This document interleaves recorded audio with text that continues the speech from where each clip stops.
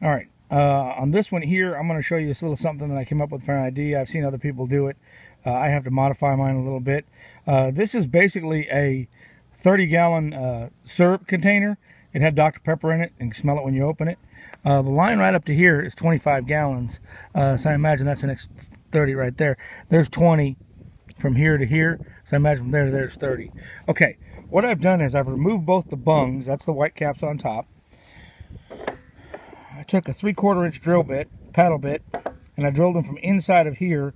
It clears it very easily and it drills it out. Okay, then what I'm going to do is I'm going to screw these spigots in there on both sides, but they're both going to face out. This one will face this way, the other one will face the other way. It really doesn't matter what type of spigot you use. I had a couple of different types because when I'm in doubt, I'll buy a half inch and a three quarter just to make sure I've got the right one.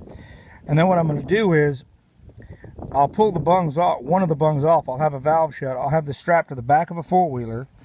And whichever one is pointing down will probably have a little six, seven foot section of hose sticking out.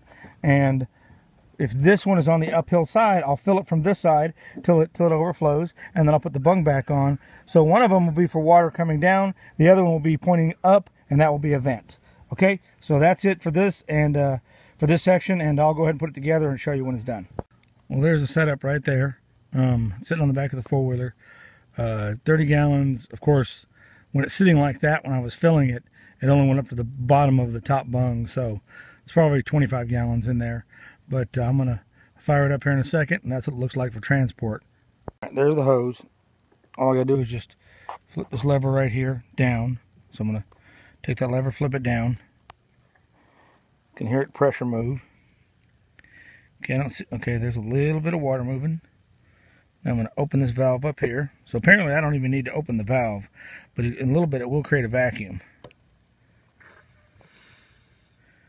You can hear that, vac that, that valve open up, letting the air in. So if I just let those let that run for, I don't know, a minute or two, a couple minutes, it'll give me give me some good water for these trees. And then I can turn around I can hit all the other trees. I got some over there, some over there. See, these are the ones that I don't like to get the hose out for because it gets left out. And then I end up with a hose like this that's been hit by the mower because I didn't see it. Those trees over there have all got a drip line on them. So I turned that on for about an hour, and next thing I know, I got water running down the end of the driveway. But uh, these trees here, it's better to water the trees than it is to water the whole yard and get the grass. I end up wasting a lot of water in the grass when my focus is more about my fruit trees. Okay, so that's it. Um, that's how it works. Uh, there you go. It's running away.